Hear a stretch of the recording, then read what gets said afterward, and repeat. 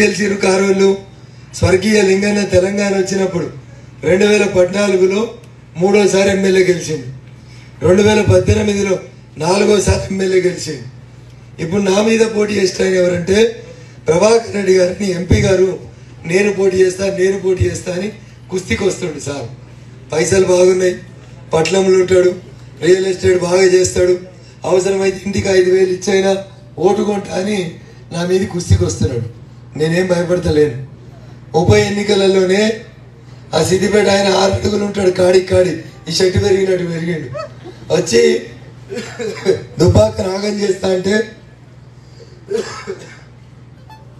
గరీబోళ్ళం కావచ్చు కానీ గట్టిగా నిలబడ్డం రఘునందన్ మా బిడ్డ మా గరీబోళ్ళ బిడ్డ రేపు గెలిపించి పంపిస్తే మా కోసం కొట్లాడతాడని మీరందరూ ఓట్లేసి పంపించి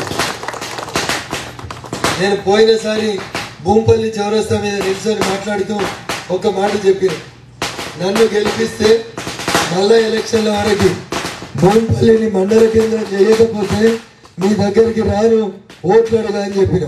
అయిందా భూంపల్లి మండల కేంద్రం? అక్క ఒకవేళ కారు గుర్తులే చేస్తే మీరు మంచిగా ఆలోచించాలి. రెండు వేల పద్నాలుగులో తెలంగాణ వచ్చింది. గడ పద్మా దేవేందర్ రెడ్డి ఉంటుంది మెదకుల ఎమ్మెల్యే.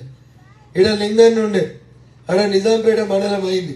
అయిందాక లేదా ఇట్లా తొవ్వెంబడి పోతే పోతిరెడ్డిపేట దాటంగానే నిజాంపేట మండలం అయింది.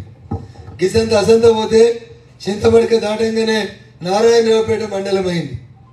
ఇంకా జర గసంత పోతే ముఖ్యమంత్రి నియోజకవర్గంలో మాసాయిపేట మండలం అయింది. మెదకుల వాళ్ళే సిద్దిపేటలో వాళ్ళే గజ్వేల్ల వాళ్ళే దుబ్బాకల కూడా వాళ్ళే ఉండ్రి నేను గెలిచే కంటే ముందు.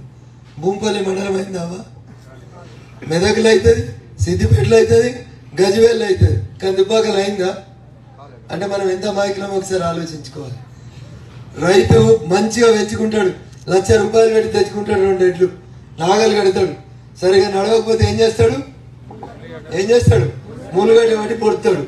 పొడితేనే అవి నాగలు నడుస్తాయి. అవునా? నన్ను ఒక్కనే గెలిపించారు కావచ్చు మీరు. కానీ నేను పోయి అసెంబ్లీలో మా చెల్లెళ్ళు రేషన్ కార్డు అడుగుతున్నారు. ఊర్లలోకి పోతే కూపన్ కార్డు ఇస్తలేమని అడుగుతున్నారు.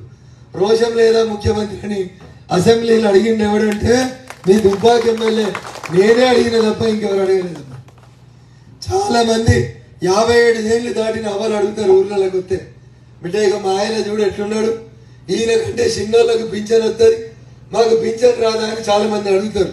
ఎవరో వస్తారు ఏదో చేస్తారు అని ఎందుకు ఎదురు చూస్తావు? రా నీ ఊర్లో ఉన్న సమస్యలని నువ్వే పరిష్కరించు. నీ ఇల్లే కాదు నీ ఊరు కూడా నీదే. ఇప్పటి వరకు మీపై ఎన్నో దాడులు దౌర్జన్యాలు జరిగినా చూస్తూ ఉన్నారు. మీ చుట్టూ జరిగే అన్యాయాన్ని వీడియో తీసి ఈ క్రింద ఉన్న నంబర్కి పంపించండి. మీ ఊర్లో జరిగే వింతలు విశేషాలు మరియు మీలో కానీ మీ చుట్టుపక్క వాళ్ళలో కానీ ఏదైనా స్పెషల్ టాలెంట్ ఉన్నా కూడా మమ్మల్ని సంప్రదించండి. ఈ ప్రపంచానికి హిట్ టీవీ మిమ్మల్ని పరిచయం చేస్తోంది. హిట్ టీవీ ఇది సామాన్యుడి టీవీ.